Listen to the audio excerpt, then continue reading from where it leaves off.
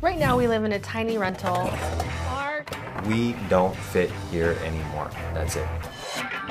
Ready? Here, let's go. We've been looking for nine months. We just can't afford anything we'd want to live in. We've seen some that we liked from the pictures and it looks so great. Full disclosure, And then you get there someone did die in this house.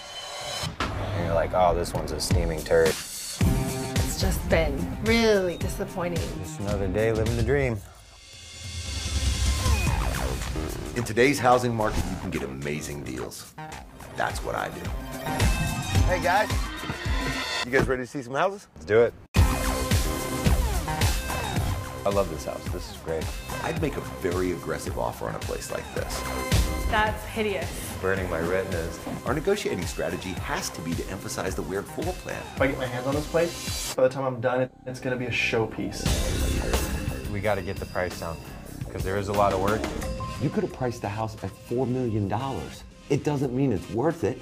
We are done talking. So you're willing to let the deal go for $15,000? Absolutely. Take it or leave it. We're done then. Thanks. Let's go have lunch.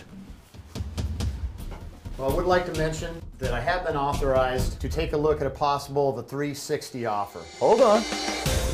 What style are you looking for for the house? I like classic, kind of eclectic.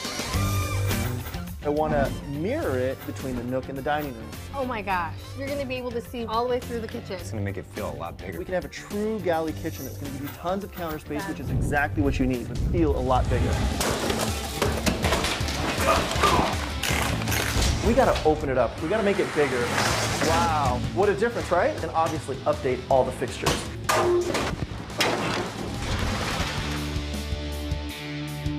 Rosalía is going to pee her pants.